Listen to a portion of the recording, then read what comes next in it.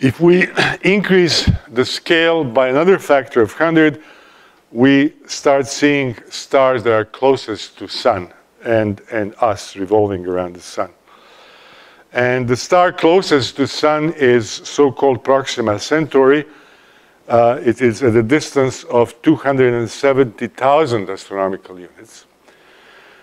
And again, you see that the distances to even the closest stars uh, uh, are expressed by large numbers if we use astronomical unit as uh, uh the yardstick. So that signals that the time has come to change the yardstick again, to use something uh, different to express the distances between the stars. Uh, this image here is the image of Proxima Centauri obtained by Hubble Space Telescope. And uh, this star was recently in the news in 2017 because astronomers discovered that uh, it has a planet revolving around us.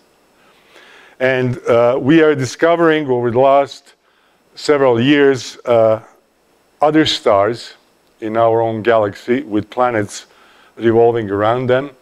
And the statistics is such that uh, about one in six stars in our galaxy, and there are 100 billion stars in our galaxy, has uh, a planet or several planets revolving around it. Now, this particular planet, this uh, is at a distance from its star, so that it is estimated that actually if there is water on its surface, the water would uh, exist in the liquid form, and the liquid water is essential for the formation of life as we know it, but we still don't know whether there is uh, any water on the planet revolving around Proxima Centauri. Uh, Proxima Centauri is much dimmer than the sun, it's less luminous, uh, it is also, uh, its surface temperature is lower than that of the sun, roughly half. And as a result of that, it uh, is reddish in color. And it belongs to the group of stars known as red dwarfs.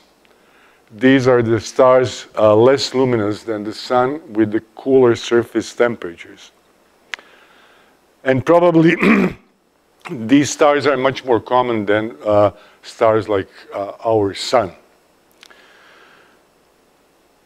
So to express the distances uh, between the stars, we use the new yardstick, light year, which by definition is the distance uh, uh, light travels in one year. And it is equal to just over 63,000 astronomical units. Or if we want to use kilometers, it's about nine and a half trillion kilometers, right? So clearly to express uh, the distances between the stars, astronomical units, and even more so kilometers are too small yardsticks. So the more natural uh, uh, unit of length um, uh, to express the distances between the stars is a light year.